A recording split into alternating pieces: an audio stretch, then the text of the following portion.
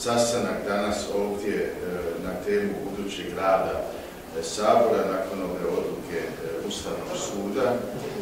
Mislim da je bila konstruktivna rasprava u duhu dobre suradnje.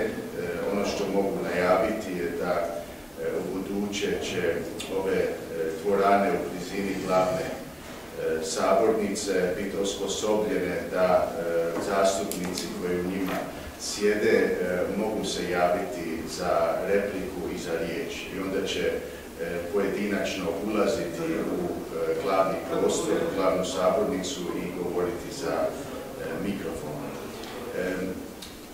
Načelo ravnopravnosti je jako važno, važno je ovaj, poštivati ove epidemiološke mjere, međutim svjesni smo da ovo nije naj E, elegantnije rješenje, a u ovim okolnostima mislim da je e, postignuto evo, za sada jedno rješenje koje će, e, nadam se, funkcionirati. Što se tiče vremenskih limita za pojedine rasprave, dakle i dalje će biti 10 minuta u ime klubova i 5 minuta za ono, indikacija, a stvarno puno ne znači, jer uvjeren sam da ima puno više zaraženih nego što slušamo svaki dan u medijima. Tako da to je samo jedan e, pokazatelj, a e, mislim da je puno šire e, nego što mislimo, ali opet govori, ja bih stavio naglasak na ranjive skupine, na starije. Znamo da je smrtnost izuzetno niska, izuzetno niska i imali smo i prije i dalje razne bolesti, pa i običnu gripu i živimo Evo, gospodin Radman je rekao da u prošloj godini e, je više ljudi umrlo u Hrvatskoj nego ove godine sa covidom do sada. Tako da, evo, moramo to sve uzeti u obzir. Evo, meni osobno još nisu se javili i ovaj, mislim da su već e, pojedini liječnici odgovorili na ovaj apel.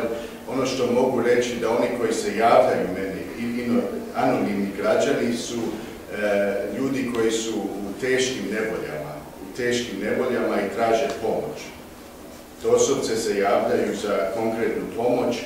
E, mi smo tu isto, nažalost, ograničeni, ali e, ono što osjećam intuitivno i već se može i, reći da mnogima je ovo vrlo, vrlo teško stanje. Vrlo teško stanje i opet bih ponovio da E, još nismo, ja mislim u vladi nisu svjesni do kraja što znači e, e, za naše gospodarstvo pad BDP-a. Dakle, često smo slušali u, ovom postotku, često smo slušali o stabilnosti, kako je Hrvatska i stabilna i sigurna zemlja. Mislim da to, ta slika se urušava.